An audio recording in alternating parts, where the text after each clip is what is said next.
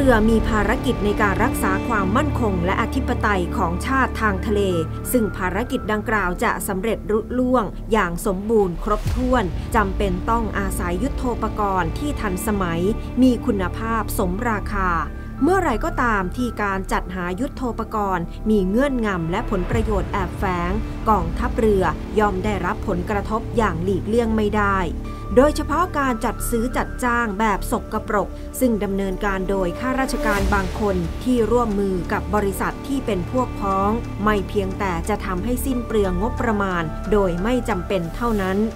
หากยังจะทำให้ระบบและยุทโธปกรณ์ที่นำมาใช้งานเป็นของที่ไร้คุณภาพ ล้าสมัย และมีราคาสูงเกินจริง ส่งผลให้ความเข้มแข็งของกองทัพเรือในภาพรวมต้องลดน้อยลงไปอย่างหลีกเลี่ยงไม่ได้ ดังตัวอย่างจากกรณีโครงการจัดซื้อเป้าบินไอพ่นโดยไม่ซื้อรางปล่อย อุปมาดั่งซื้อรถไม่ซื้อล้อ มูลค่าโครงการ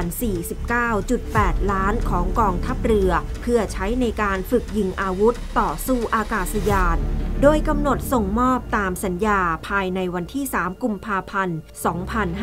2564 และมีการแก้ไขสัญญาหลายครั้ง จนมีการจ่ายเงินให้ผู้ขายไปแล้วถึง 95%ของมูลค่าโครงการทั้งนี้โฆษกกองทัพเรือพลเรือเอกปกครองมนทาตพลิน ได้เคยออกมาชี้แจง เมื่อวันที่ 2 พฤษภาคมว่าทุกอย่างดำเนินการอย่างถูกต้องโปร่งใส พร้อมทั้งเปิดชื่อบริษัทคู่สัญญาว่าเป็นบริษัท CCG โดยยืนยันว่า การไม่ซื้อรางปล่อยก็เพื่อประหยัดงบประมาณ เพราะเป้าบินชุดใหม่สามารถใช้กับรางปล่อยของเดิมที่มีอยู่แล้ว และผู้ผลิตจากต่างประเทศจะเดินทางมาทดสอบเป้าบินในเดือนมิถุนายนนั้น ล่าสุดแหล่งข่าวในกรมสรรพาวุธทหารเรือ เปิดเผยว่า เจ้าหน้าที่เทคนิคจากต่างประเทศ ได้เดินทางมาถึงประเทศไทยเรียบร้อยแล้ว และดำเนินการตรวจสภาพของรางปล่อยที่มีอยู่เดิม และทดลองติดเครื่องยนต์ของเป้าบินไอพ่นทั้ง 3 ลำ ที่กรมสรรพาวุธทหารเรือ เมื่อวันที่ 29 พฤษภาคมที่ผ่านมา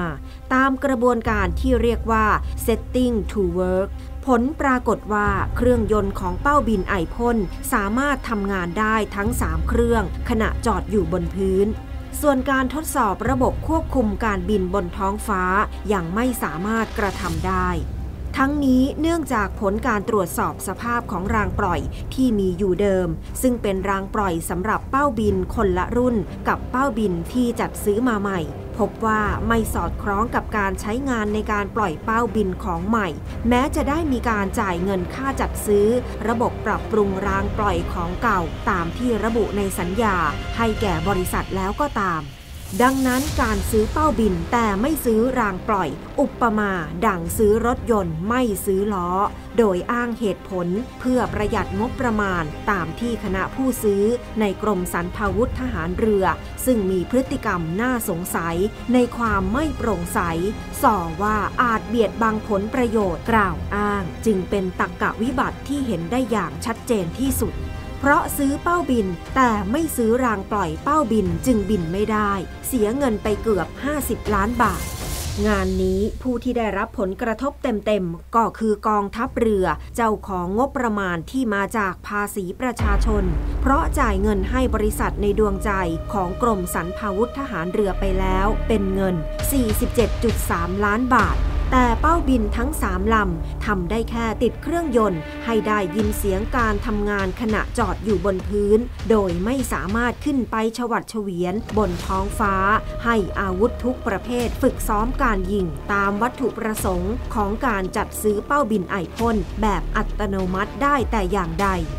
ดังนั้นจึงต้องจับตาดูอย่างใกล้ชิดว่า กรมสรรพาวุธทหารเรือจะแก้ปัญหานี้อย่างไร เพราะการขยายระยะเวลาส่งมอบ สิ้นสุดลงแล้ว บริษัท CCG ซึ่งเป็นคู่สัญญาจะต้องจ่ายค่าปรับวันละประมาณ 50,000 บาท ตั้งแต่ 11 พฤษภาคม 2566 อันเป็นวันกำหนดส่งมอบ กรณีการจัดซื้อเป้าบินแต่ยังบินไม่ได้ จึงเป็นสิ่งที่ยืนยันเป็นอย่างดีว่า การจัดซื้อจัดจ้างยุทธโธปกรณ์ จากบริษัทที่ขาดความน่าเชื่อถือ หรือมีลักษณะเป็นสาปัว อย่างที่กรมสรรพาวุธทหารเรือ เคยนำมาใช้แล้ว ได้ผลเหมือนก่อนหน้านี้ ซึ่งเคยจัดซื้อเครื่องทดสอบ Hydraulic Test Bench เพื่อใช้ในโรงงานซ่อมบำรุงปืน วงเงิน 10 ล้านบาท จากบริษัท CCG ด้วยวิธีการเดียวกับการจัดซื้อเป้าบิน ใช่ว่าจะสำเร็จลุล่วงเสมอไป เพราะองค์ประกอบที่เกี่ยวข้องแตกต่างกัน ดังนั้นการทำทุกอย่างบนพื้นฐานของความถูกต้องโปร่งใส ไม่เห็นแก่พวกพ้อง หรือมีผลประโยชน์แอบแฝง จึงเป็นเกราะป้องกัน ที่จะทำให้ภารกิจสำเร็จลุล่วงอย่างสมบูรณ์